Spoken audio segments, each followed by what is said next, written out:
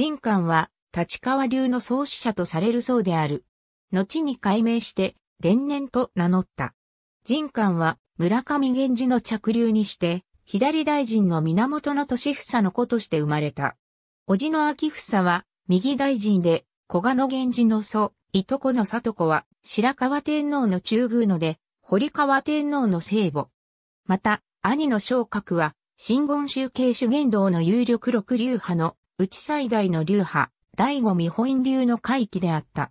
人官は、昇格の弟子として、真言宗を熱心に学び、真言宗の僧の最高位であるアジャリにまで上り詰めた。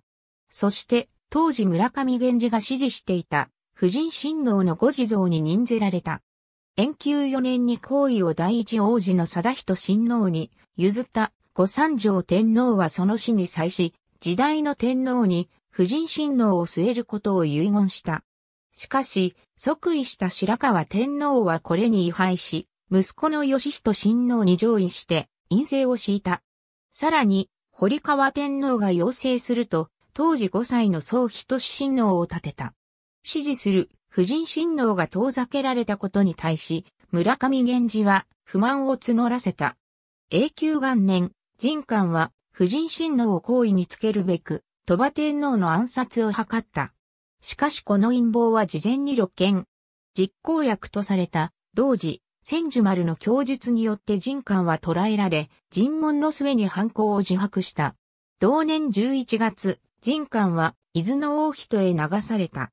伊豆の城山伊豆へ放逐された人官はなお、連年と改め、真言の教えの伝道に努めた。武蔵国立川出身の恩名師、未蓮と出会ったのはこの頃である。この未蓮をはじめ、関連、サビノリ、関将らの弟子に、第五未保院流の奥義を伝授した。永久2年3月23日、伊豆桂木さんの南登録の城山の頂から身を投げ死亡した。彼の教えは未蓮らが発展させ、立川流を確立したとされている。なお、立川流に関わる文献は、そのほとんどが後世の弾圧により失われており、詳細は明らかでない。